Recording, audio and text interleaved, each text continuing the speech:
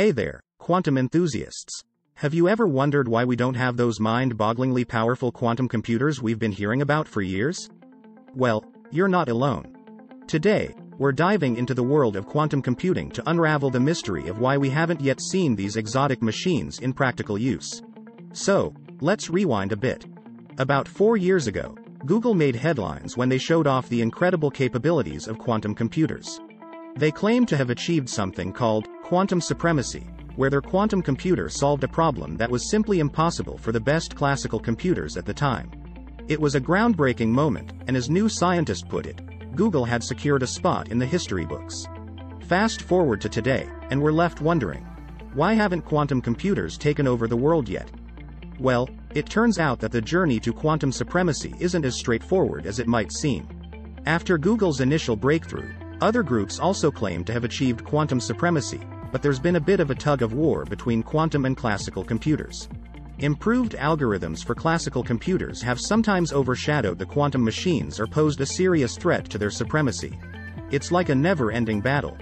You see, quantum supremacy hinges on two key factors, the number of qubits, those tiny quantum bits, and the complexity of the tasks they can handle, often referred to as circuit depth.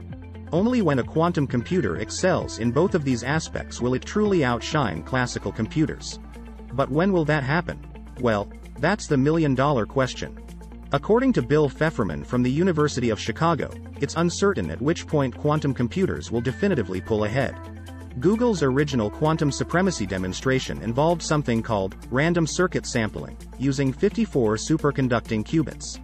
But this year, they upped the ante, using 70 qubits for 24 cycles. While this might not sound like a massive leap, it represents a significant increase in complexity. Google claims that replicating a calculation on their 70-qubit machine would take the best supercomputers a staggering 47 years.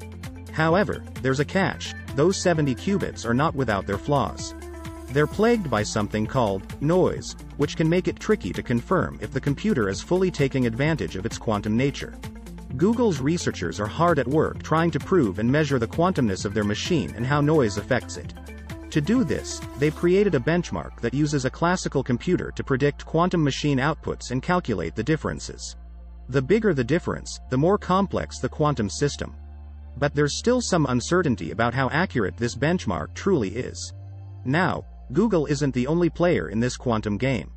Researchers at the University of Science and Technology of China have also demonstrated quantum supremacy with 56 qubits, and they're exploring alternative quantum computing designs using photons as qubits.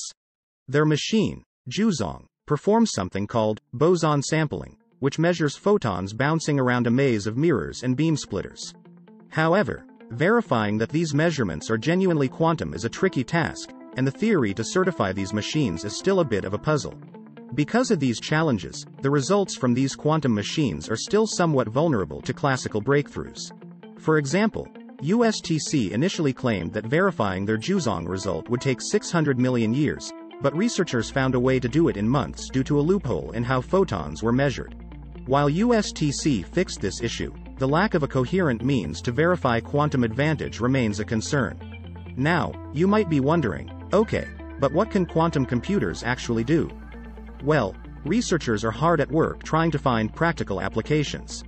For example, they're exploring how quantum computers could tackle mathematical problems useful in drug design and machine learning. But here's the tricky part.